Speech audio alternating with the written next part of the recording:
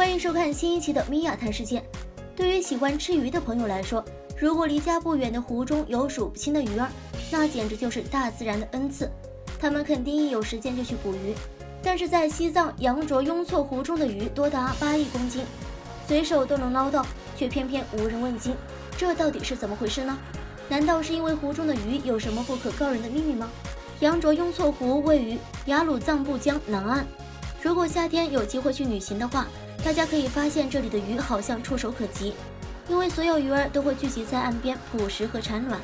而且这里的鱼跟普通的鱼儿不太一样，它们大多数都是高原裸鲤，跟普通鱼最大的区别就是没有鳞片，而且环境适应能力特别强，不管是淡水还是盐水都可以正常生存。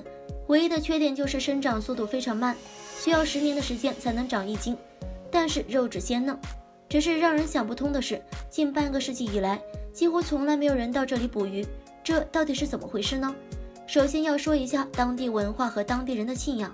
藏民不主张杀生，他们觉得鱼儿很有灵性。而羊卓雍措湖是西藏人眼中的圣湖，如果过度捕捞将会触犯圣灵。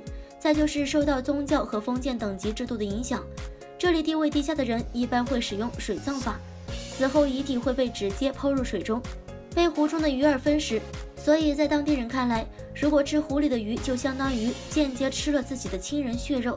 还有更为关键的一点是，现在西藏地区已经是我国最大型的天然生态保护区，所以不管是当地人还是外地人都不会来这里捕捞。